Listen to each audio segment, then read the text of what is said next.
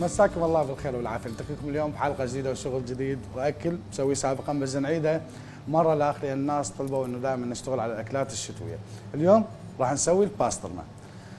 الباسترما ككلمه هي جاية من اللغة الرومانية من فعل باسترم.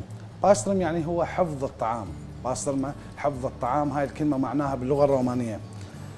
أول من أنتج ساندويتش الباسترما في سنة 1887 هو أحد ال ال أهل يعني أصحاب المطاعم الأمريكان. ويقال إنه هو أول من لكن دائما نعرف بالأكل دائما أكو اختلافات وأكو على أصول الاكله يقال إنه كوشير شخص اسمه كوشير. هو من أصول ليتوانية هو أول من أنتج الباسترما في سنة 1872 أيضا في أمريكا. عموما الباسترما نقلت من رومانيا إلى أمريكا عن طريق هجرة اليهود اللي أول من هاجر من رومانيا وراحوا لأمريكا وبعدها بدأت تشتغل. وهوايه دول يسموها باسترما واكو دول أخرى يسموها بالسجق. خلينا نشوف مقادير السجق أو الباسترما ونشوف كوشير شلون سواها. ونرجع لكم عندي لحم عجل 1 كيلوغرام عندي أمعاء خروف سندويلة ثلاثة عندي شحم البطن. شحم البطن تروحون القصر تقولوا لي شحم بطن؟ هو يعطيكم بهارات باسترما اثنين ونص ملعقة طعام وعندي نارنج راح يكون عندي ثلاثة وعندي ملح وعندي الثوم.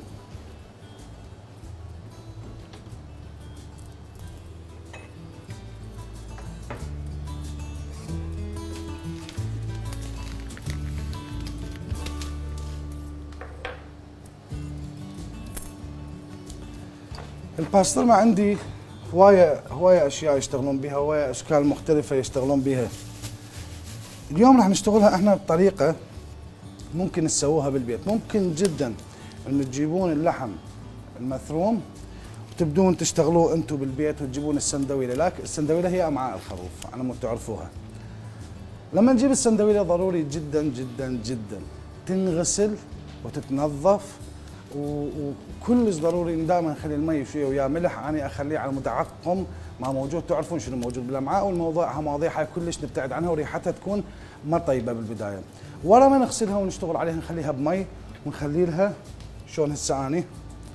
ونخلي لها خلي أشيل هذه خلي لها شوية نارنج. نارنج دائما نقطعه وياها.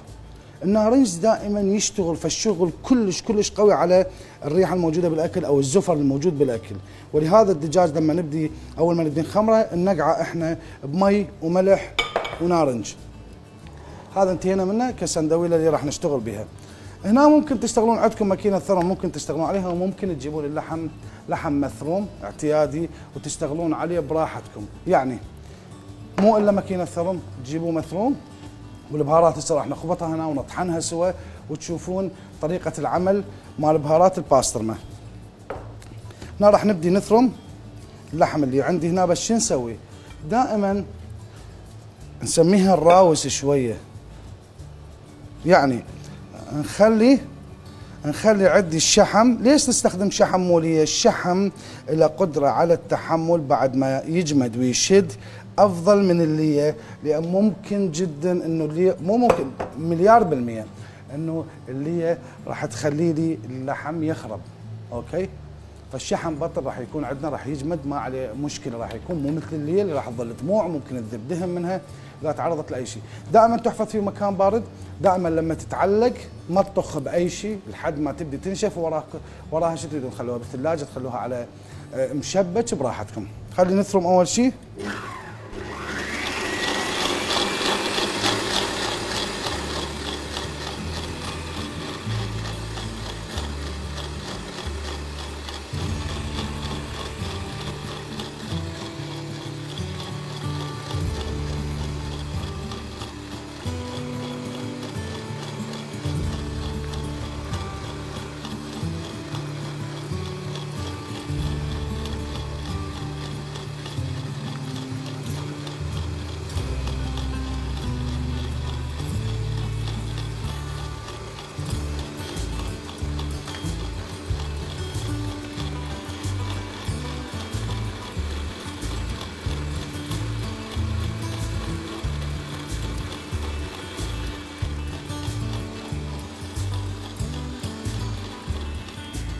الراوس يعني شنو من قلت الراوس اللي عندي هنا إنه أني أخلط الشحم ويا اللحم الاعتيادي على مود أقدر أضمن إنه اللي اللحم اللي راح يطلع عندي هنا راح يطلع عندي بشكل صحيح متلابس كله فهمتوني؟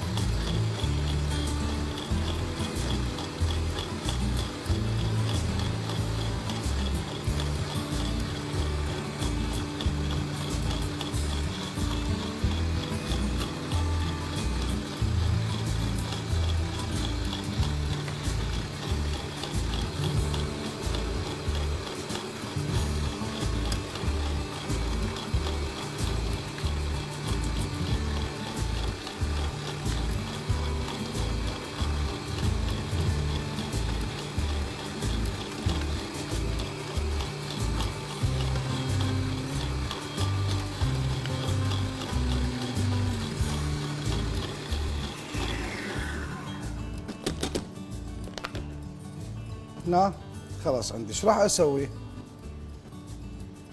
هذا عندي الشحم هنا.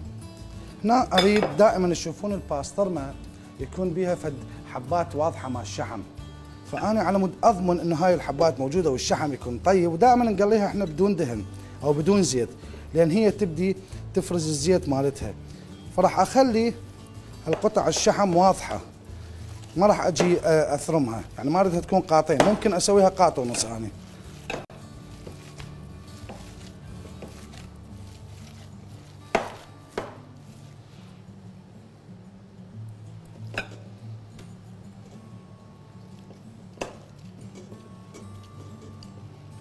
نلم الشحم كله. ضروري الشحم بطن مو شحم تشلوه يعني شحم البطن عموما يكون عبارة عن ورق. يعني هيك كأنه لازمين عفوا بدون تشبيه لأن تضرب ولا تقاس كأنه وصلة بازة. ولهذا نوبات من نشوي تكة ويحبون نغلفها بالشحم نكمل الشو ونلفها بالشحم. شحم الكلية أو الشلوة يصير إذا كان بالعجل أو بالغنم راح يكون في شيء مثل الشدمه مبين فما أستخدمه. أستخدم شحم البطن. أوكي؟ هذا ضروري جدا كلش ننتبه عليه.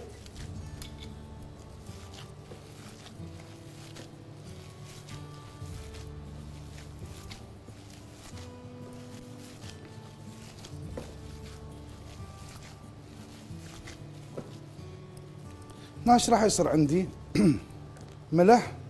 ملح أيضا راح يعتبر هنا مادة حافظة للباسترما فهمتوني؟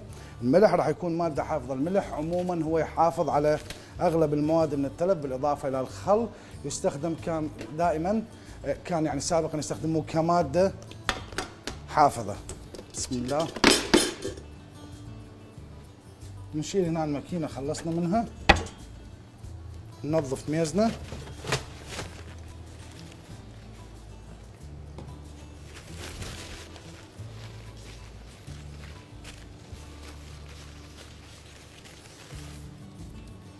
دائما قلت لكم أي لحم أو أي دجاج يكون عندكم على مكان يوقع أو دم مالته أو أي شيء يفضل دائما نعالجه يا إما بالكحول يا إما بالملح نتركه عليه فترة.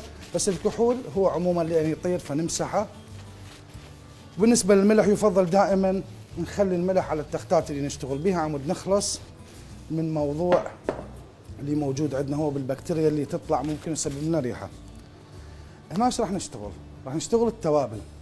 التوابل عموما خلطة وكل يعني كل يغني على ليلى كل واحد يحب يخبط مثل ما يريد.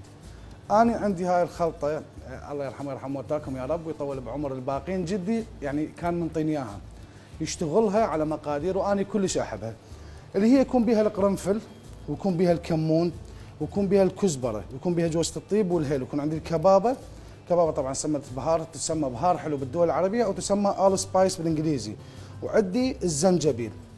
هذول كلهم موجودين. مقاديرهم راح تشوفوها على الشاشة بعد قليل. مقادير بهارات الباسترما شباب وراها نبدي نخلطها ونسويها. هاي المقادير اللي عندي هنا. عندي الكمون عندي الكزبرة وعندي الكباب وعندي القرنفل والزنجبيل والهيل وجوزة الطيب. الكمون آه مو بس الكمون عموما التوابل أوزانها عندنا أوزانها تختلف. شلون يعني؟ هسه ثواني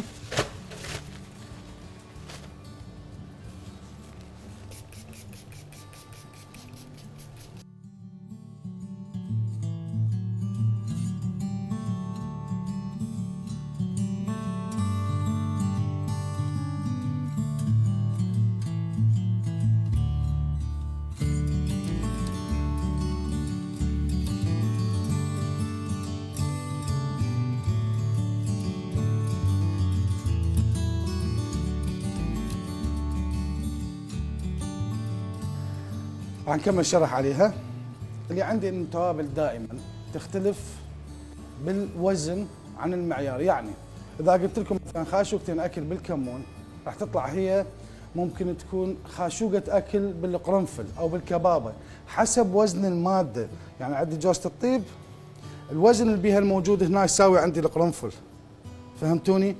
مثلا عندي الكزبرة هي مساوية للكبابة. مثلا الكمون مساوي للزنجبيل على حسب ثقل المادة اللي موجودة عندنا فهمتوني؟ فضروري جدا إنه دائما نميز هذا الشيء إحنا ثواني بس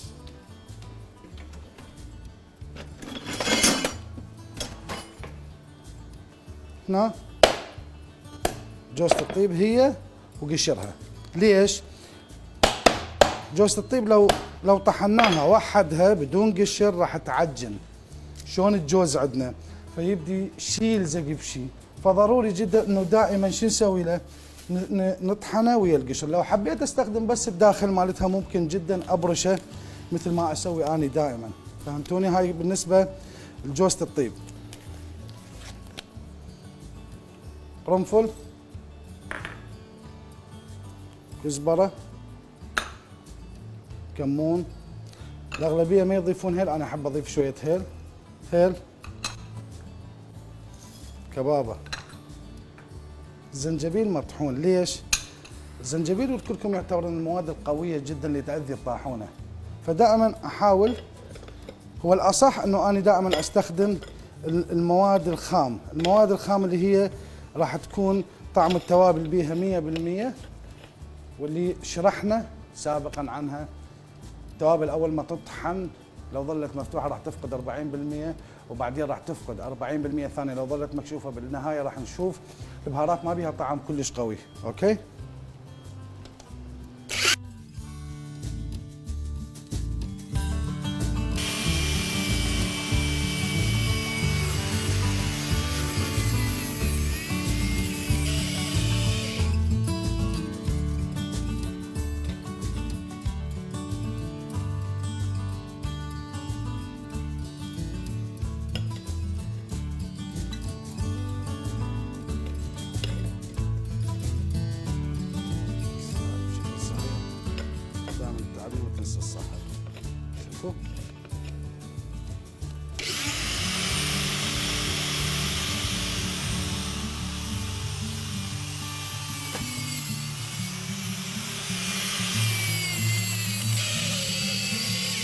شو يصير عندنا؟ يصير عندنا البعض من الحبات اللي موجودة توقف بين السكينه وبين السطح اللي موجود بالطاحونة فيطلع عندي هذا الصوت. نحركها شوية.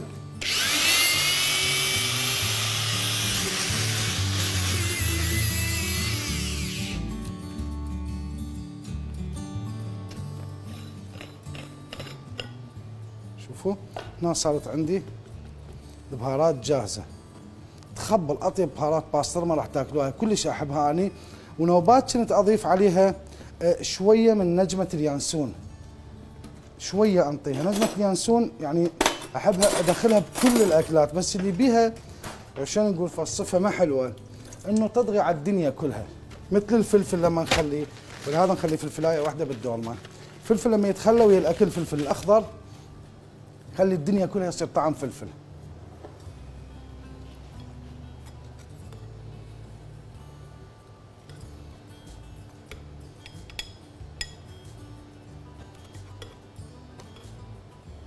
هاي اثنين ونص. خلاص صارت هاي التوابل عندي جاهزة. وبعدين أعرف هاي الحشمرة إذا ما تنسد. خلي خليها هنا. انتهينا منها. شو نسوي هسه؟ نجي نعجن عندي الباسترما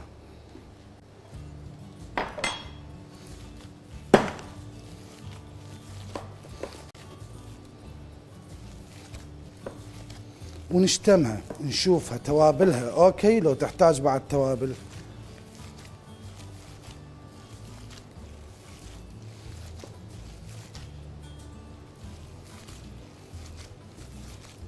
هنا مو بس أني دا أخلي التوابل تنخلط عندي الملح كذلك وعندي دا أطلع الهواء قد ما دا أقدر من اللحم. وجود الهواء وبقاء عفوا بالباسترما راح يسبب لي مشاكل بالنسبة لجودتها. ولهذا ليش بنسويها بالسندويلة؟ شو نسوي لها؟ نشكشكها من الصفاح على مود آه، يطلع كل الهواء ونظل نمشي إيدنا عليها. أعتقد تحتاج شوية بعد توابل. ليش؟ لأن إحنا كاتبين بالمقادير كيلو لحم أنا هنا خال أكثر من كيلو.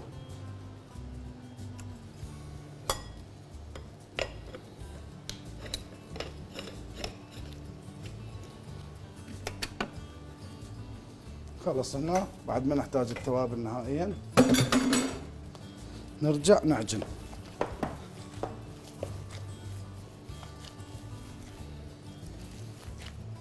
ليش قلت لكم نظفوا الميز؟ أقول لكم نظفوا الميز عم من يوقع شيء إحنا مسيطرين نرجع بالأكل ما نخاف إنه أي مشكلة يصير به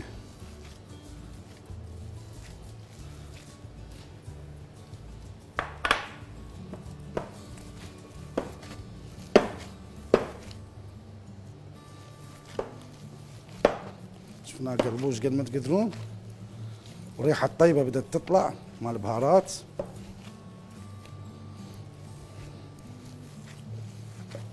شباب نكرر مقادير الباسترما بعد إذنكم والبهارات هم بين ما اخلص عجن.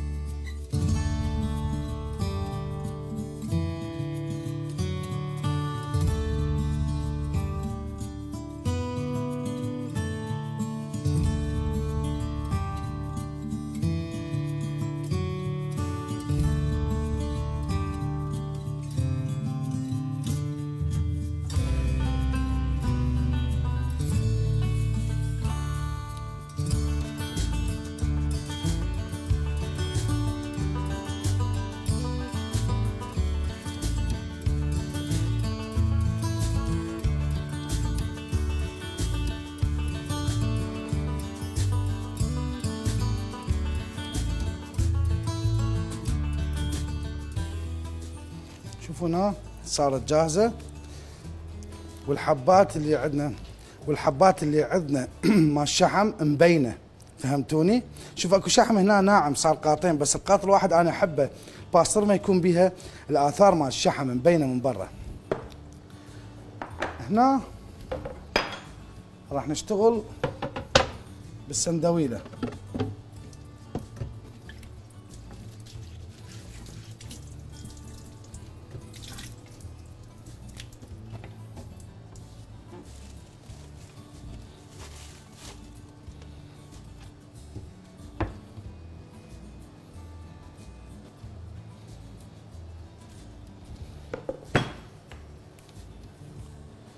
نحضر كلينس يمنا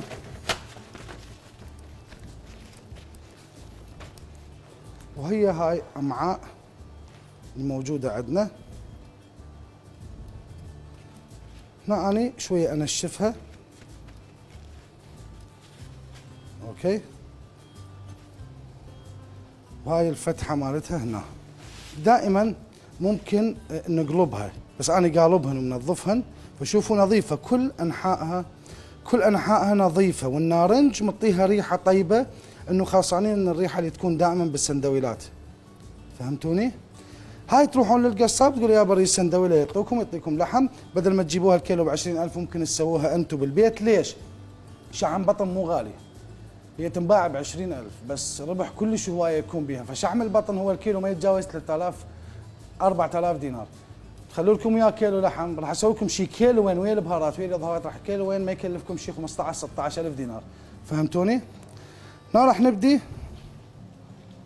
إيش راح نسوي؟ إيديناتنا الاثنين. نلزم وندفع.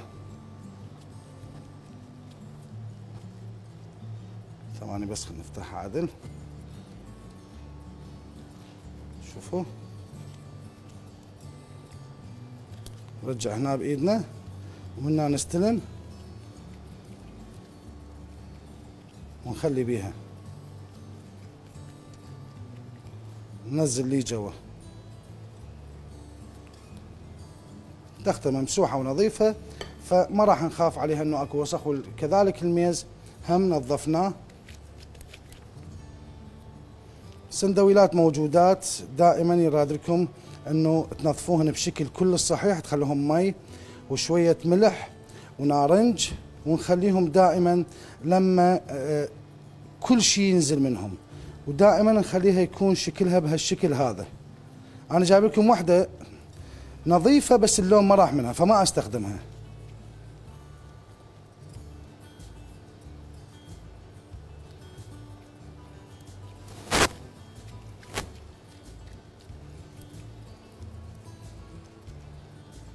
شوفوا. نزل هنا. هاي حبات الشحم تخبل. ليش؟ هاي راح تصير عندكم بالتقلاة مالتكم. لا تخلون زيت. ابدا لا تخلوا لها زيت. خلوا لها هي بالطاوة. طاوة مو كلش حارة. هي راح تبدي تذب الدهن مالتها وتتقلى بيه. وإذا شفتوا موضوع التوابل مطول عليكم روحوا للعطار أو أبو البهارات. قولوا يا بخبط لنا كذا كذا كذا. أكيد راح يقول لكم لا ها مو صحيحة. راح أسوي لكم أني. وراح تأخذوا من المهم تجيبوا بهارات باصلها طيبه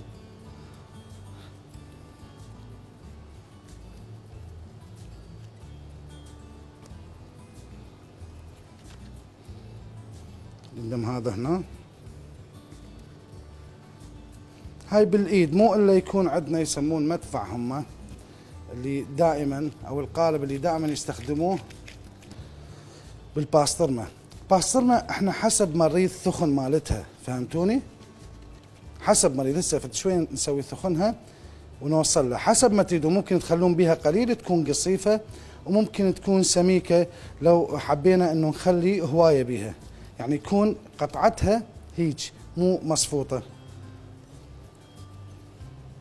وعلى العموم ممكن إذا خلينا هواية راح يطلع عندنا مية بالمية يعني شيء ما يقبل خطأ.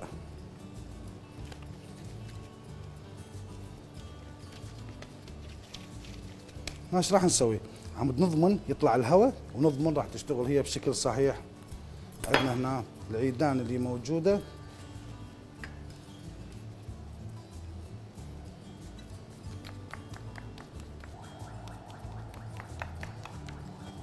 هنا كذلك. شوفوا.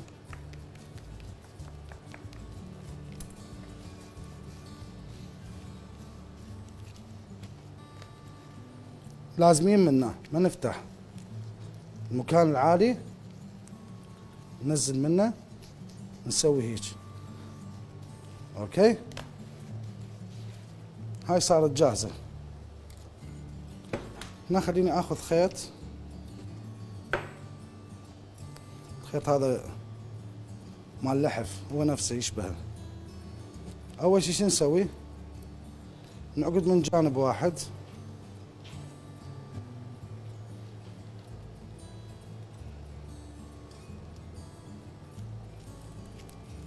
راح أسوي هنا. انعقد صار هيك. راح أجي.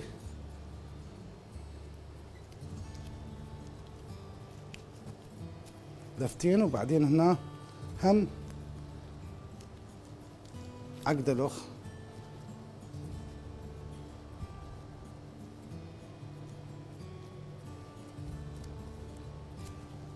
خلاص هاي باسترمتنا صارت جاهزة.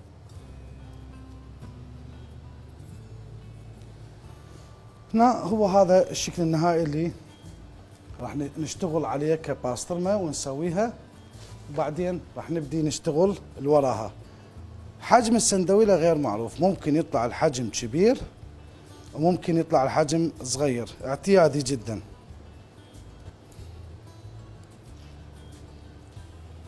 هنا هم. يعني خلينا نلم اللحم لهنا. آسف جدا بس يعني هي بالإيد نسويها. هي عموما أكو قالب يصير براس ماكينة الثرم. نكف السندويلة هيك نكفها ونخليها براس الماكينة ما ثرم وبالتالي راح ناخذ الشكل اللي نريده. نهم نمسحها. نرجع نقلبها.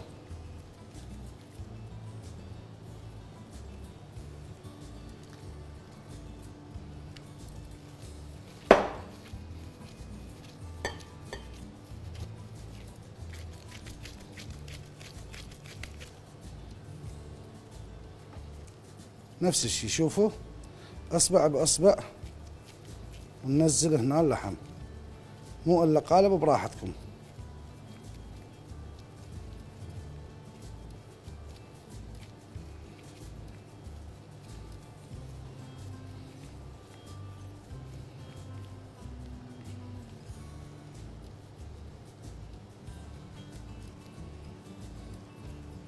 شوفوا عندنا هاي مفتوحة.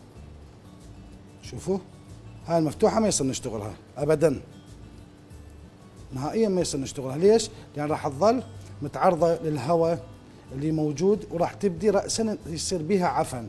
أنا بالغلق اللي سويته ومن طلعت طلعت منها الهواء وجيت حرصت إنه أسويها بشكل صحيح ضروري جدا إنه ما أخلي الهواء يكون معرضة. لو حتى من تقصوها تجون تريدون تشتغلون بيها كملتوا قصيتوا منها سويتوا ألف صحة وعافية شو تسوون؟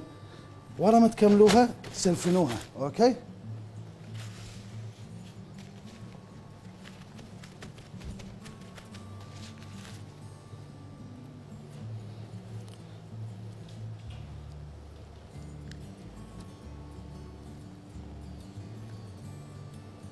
شوفوا أوكي هاي ما بيها شيء نرجع نفس الشيء حاولوا تسوون اللحمة بشكل طولي.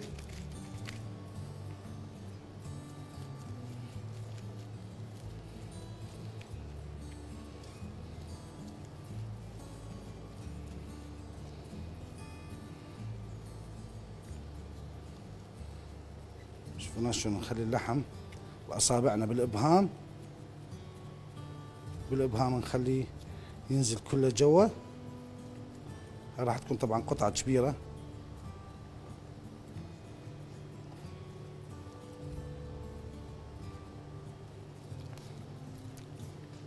شوفوا نزل جوا الهواء موجود بعدين راح يطلع عندنا كل الهواء.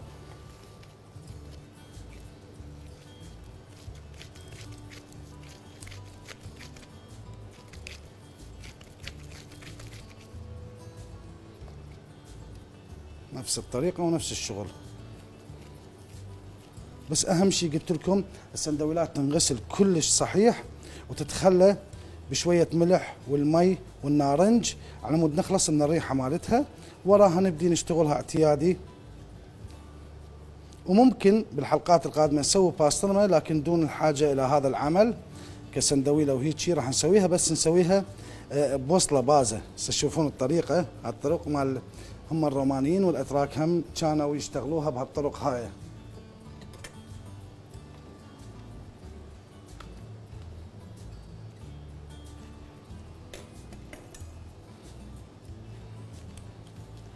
ننزل هنا اللحم على كيفنا وما تنفتح عندنا ونرجع.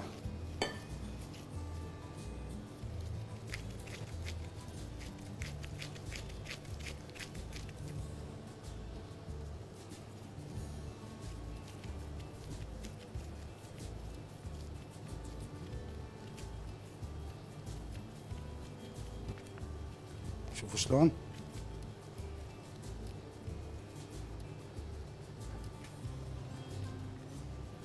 لما اهم شيء الشحم اللي موجود هذا.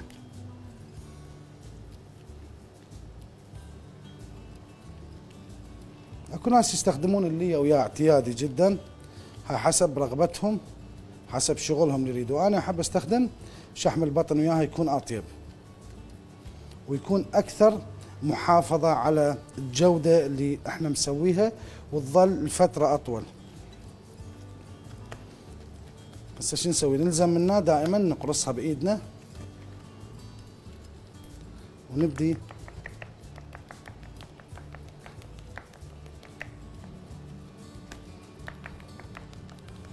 طلع الهواء مالتها. ضروري يطلع الهواء كله لأن راح يكون عندكم فراغ مبين كلش آه، لما تبدي تنشف الهواء اللي ما طلعتوه فش نسوي؟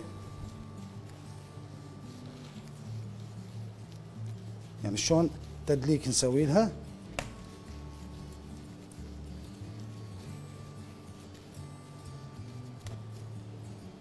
خلاص صارت هنا جاهزة.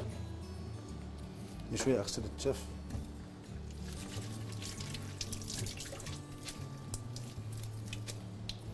هنا هم نجيب خيط.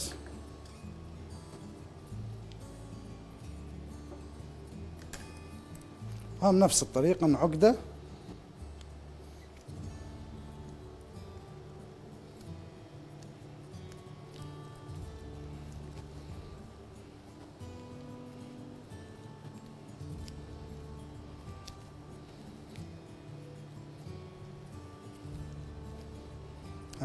واحد.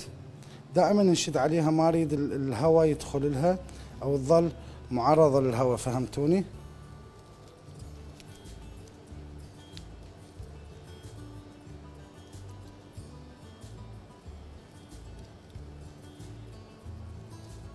ها صارت جاهزة بس نعقدها صح. هاي الجفوف ما تخلينا نعقدها خلينا ننزع الجفوف. نعقدها بشكل صحيح يشحلاتها هسه؟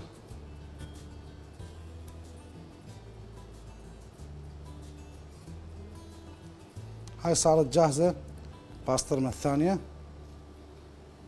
دائما لما تعلقوها ما أريدها تطخ بأي شيء. صار بعد شوي راح نسوي لها بالسامير هنا وأعلقها. ما أريدها تطخ بأي شيء. لو طخت بأي شيء راح تسبب لي مشاكل يبدي يخرب الجزء اللازق على المكان اللي نريد نشتغل به. خلي انظف الميز وناخذ المقادير هم ونرجع وياكم.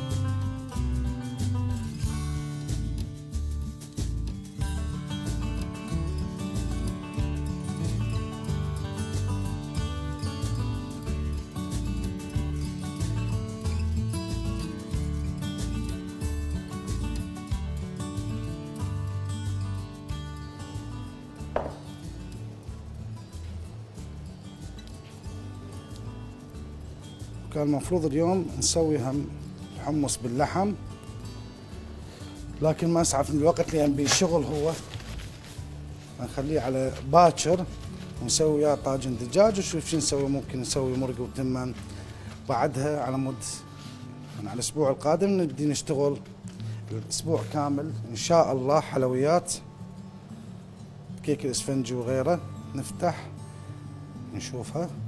يصير بيكون مثلي قبل شوية من سويتها وبعدين طلعت مفتوحة. خلاص. نعجن اللحم زين.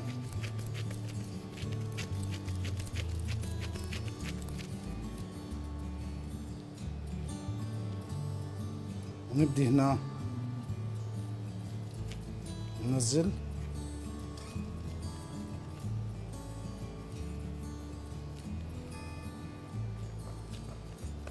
الشحم هيك بهالطريقة باللحم.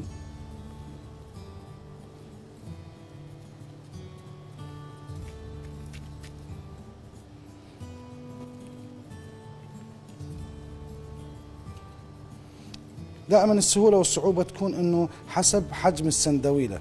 السندويلة هي هاي اللي نشتغل بها يسموها سندويلة. حسب حجمها إذا كانت كبيرة لازم نحرص دائما إنه كمية اللحم تكون صحيحة بها ما نحرمها لأن هي مفتوحة من جهة واحدة. أوكي؟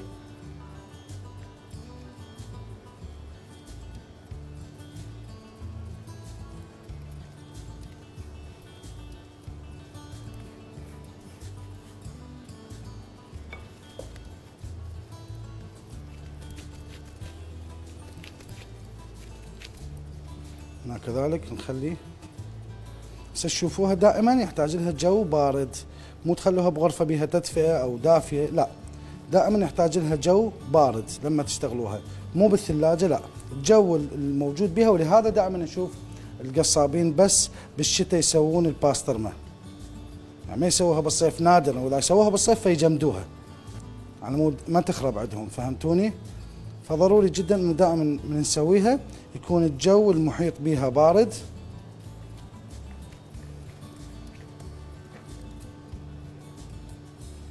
شوفوا نفتح.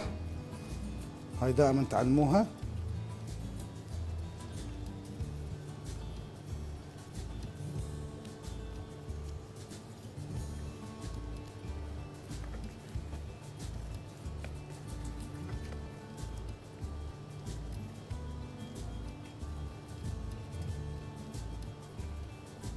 كذلك.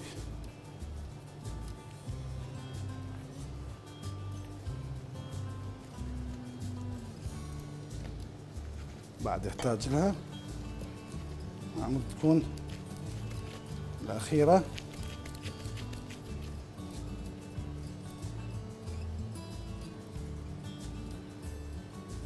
شوية طولت عندنا بس لازم نشرح كل تفاصيلها بالشكل الصحيح. مو أجي بس أقدم والبهارات ما حد يعرفها ولا بهارات باسترما لازم كل شيء نشتغله إحنا مكوناتها نكون نعرفها.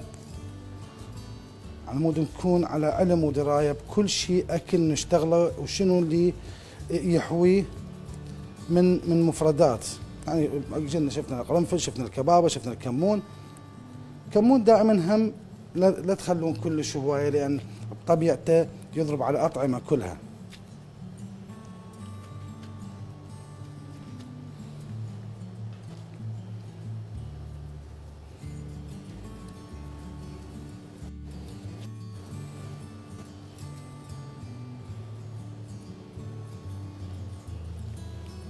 خلاص. هاي صارت تقريبا جاهزة. خلينا نشيل اللحم لهنا.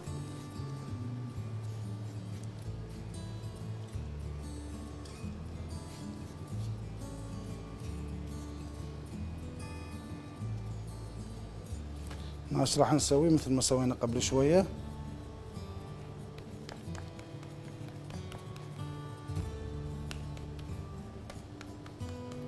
تخلي واحد بصف الآخر راح يصير فتحة كبيرة.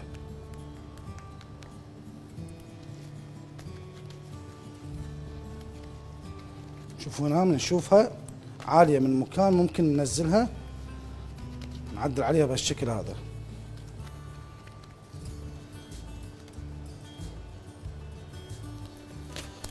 هاي هم صارت جاهزة.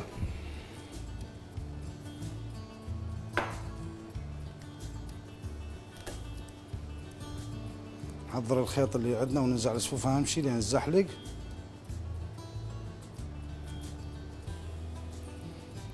نجي هنا شوي ندفع عمود يكون عندنا.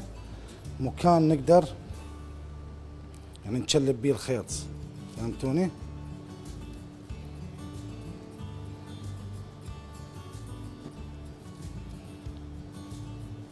هاي هم صارت جاهزة. سنشيلهم بعد شوية. هنا شفتوا طريقة الباسترما اللي اشتغلناها؟ صح شوية طولنا بها لكن من الضروري جدا إنه تعرفون كل تفاصيل الباسترما إذا كانت آه، خلطة بهاراتها إذا كان شغلها إذا كان شلون آه، نخبط الشحم أو اللي ضروري جدا نعرف هاي المواضيع. وضروري نكون ملمين بها عمود من نروح للقصاب أو نروح للعطار نناقشه بكيفنا. يعني إحنا نناقشة على علم ودراية ما نناقشة بشيء مجرد الجدال لا نعرف إنه الشحم بطن راح يكون أفضل منه ليش شحم البطن ما يكون غالي؟ ولهذا تعتبر الباسترما مربحة. فهمتوني؟ الكيلو مالتها ينباع ب 16 أو ب 20000 بس أنت عندك آه، ثلث من المكون هو من المواد الرخيصة اللي يعتبر شحم البطن. أرخص شيء موجود حتى أرخص من اللي قلت لكم سعره ما يتجاوز 4000 روح 5000 3000 دينار. خلينا نعيد المقادير قبل ما نختم ونشوفها ونشوف شغلها.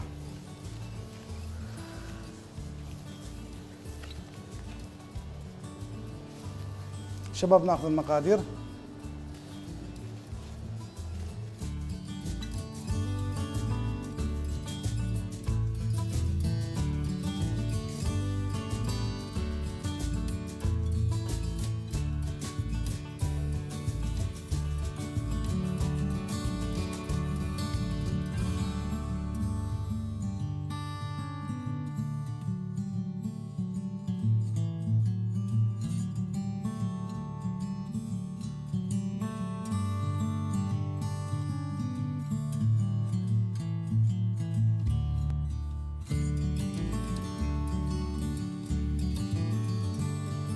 شفتوا الباسترما شفتوا طريقة عملها شفتوا التوابل اللي سويناها إحنا اليوم. كلش طيبة جربوها وسووا الباسترما بالبيت ممكن أيضا إذا ما سووا بالسندويلة تسووها أقراص وتقلوها وقت ما تحبون. ختاما شكري وامتناني لكادر برنامج مطبخي مع الشيف عرفان.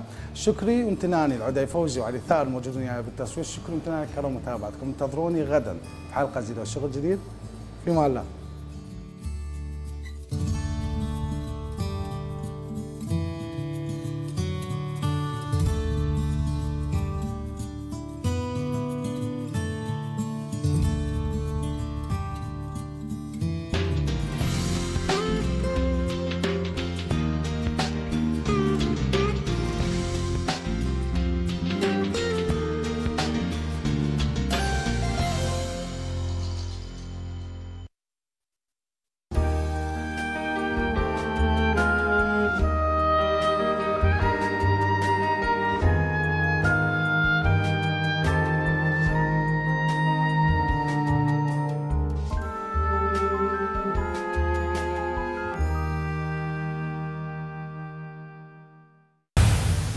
يننا صوتكم الحر والأقرب لكم.